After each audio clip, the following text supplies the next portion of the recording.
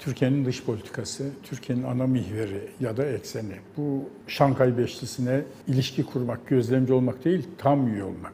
BRICS'e kendini göstermek ama öbür tarafta Avrupa ile Avrupa Birliği ile ihtilafların çözümü yönünde de hiçbir şey yapmamak. Bu bir yön problemi, eksen problemi doğurmuyor. Aslında tam da bu konuları hem geçtiğimiz iki ay içerisinde Çin'de yaptığım, Tsinghua Üniversitesi'nin düzenlediği Evet. çok önemli bir konferans vardı orada ve Rusya'da düzenlenen St. Petersburg Uluslararası Ekonomik Forumu'nda iki taraftaki konuşmalarımda da vurguladım. Şimdi bu ülkeler niye bir araya gelirler?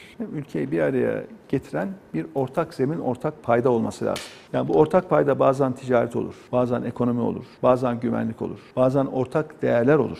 Demokrasi gibi. Demokrasi gibi, temel hak ve özgürlükler gibi. Yani bir ortak payda olması lazım. Mesela Türkiye'nin Avrupa Konseyi ile alakalı en önemli ortak paydaları yüksek hukuk standartlarıdır, yüksek demokrasi standartlarıdır. Yani Venedik Komisyonu mesela Avrupa Konseyi'nin bir anayasa standardı oluşturma mekanizmasıdır. Dolayısıyla Türkiye orada tam üyedir ve Avrupa Konseyi'nde olmamızın bir sürü sebebi vardır. Ya da Türkiye Avrupa Birliği'ne katılımcı ülkedir. Çünkü Avrupa Birliği'nin gümrük birliğini içeren, serbest dolaşımı, Schengen uygulamasını içeren, gerektiğinde ortak para birimini de içeren, yani ölçek ekonomisinden istifade eden ve aynı değerleri paylaşan, uygulayan ülkeler grubudur. Türkiye de onun için o çabadadır. Ya da NATO, NATO'da bir güvenlik şemsiyesidir ama aynı zamanda NATO çok partili demokratik sistemin olduğu ülkeler grubudur. Yani bu bazen gözden kaçırılıyor. Yani Türkiye'de çok partili demokratik hayat NATO üyeliğiyle başlamıştır. Yani NATO üyeliğinden önce Türkiye'de çok partili siyaset tek parti vardı. Yani çok partili hayata dönük geçiş o gün güvenlik şartlarının bir miktar biraz Türkiye'yi zorlaması ve o zorlamayla beraber de çok partili sisteme geçişle olmuştur. Dolayısıyla orada da öyle bir payda vardır. Dolayısıyla adı Şangay olsun başka bir şey olsun. Şimdi bu tür birlikteliklerde bir ortak paydayı yakalayabilmeniz lazım. Mesela BRICS değil mi? Şu anda ön planda BRICS. Mesela BRICS'in ortak paydası nedir? Gelişmekte olan ülkelerin, gittikçe güçlenen ülkelerin ekonomik ortak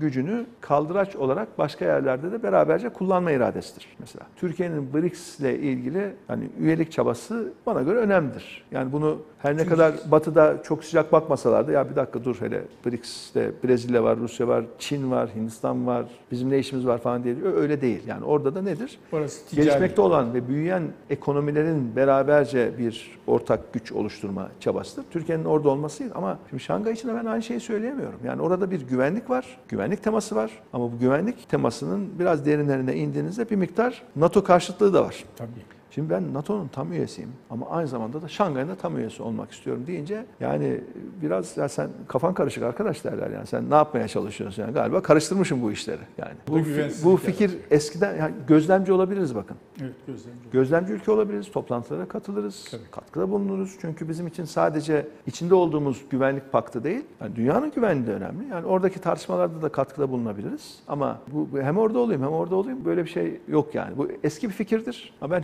hükümetteyken de yani bunun gerçekçi olmadığını, yani durup dururken de kendimizi de kimseye alay ettirmeyelim yani şey değil, gerek yok. Ha, BRICS'e evet ama Şangay gözlemci. Evet. Yani doğrusu bu. Mesela BRICS'e de Amerika mesela muhtemelen karşı çıkar Türkiye'nin BRICS'e üyeliğine. Çünkü Amerika o BRICS'i bir ekonomik rakip olarak görüyor. O bizim derdimiz değil yani. Ekonomik rakip olarak görsün görmüyor. O bizim derdimiz. O kendi dertleri. Yani Amerika öyle istiyor de öyle değil. Yani Amerika'ya rağmen biz BRICS'e üye olabiliriz, olmalıyız bana Ama göre. Şankay bir tür Şangay ayrı bir Varşova şey. Hayır, çünkü versiyonu. Yani orada güvenlik temalı bir şeyden bahsediyoruz. Şimdi kime karşı güvenlik, neye karşı güvenlik? Biraz kafa karışıklığının olmaması lazım. Yürümeye İzleyicilerimizden yoğun bir şekilde bir de şu geliyor. Diyor ki ülkenin bu kadar sorunu var.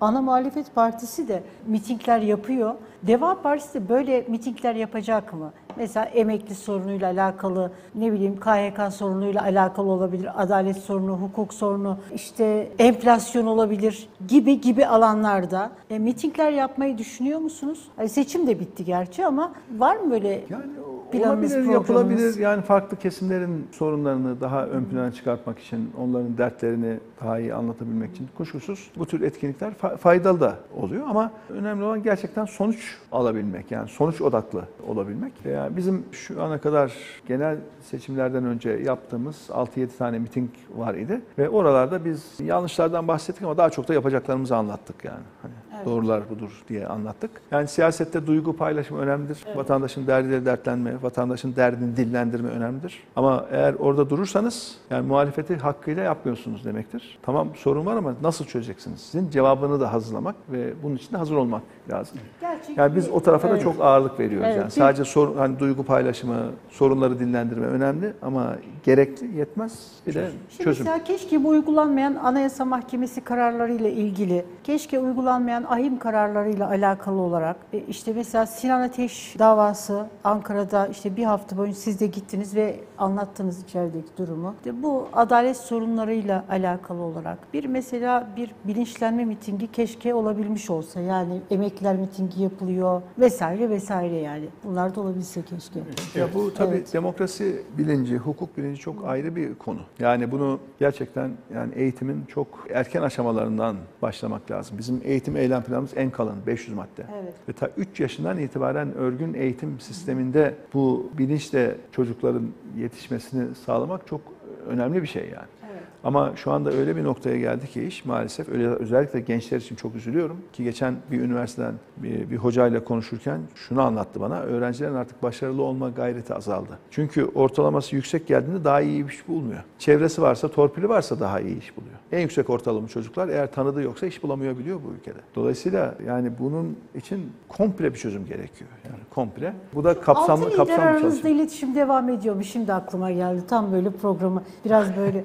Ya şöyle ikili bazda devam ediyor ikili ama artık altılı masa diye bir şey yok.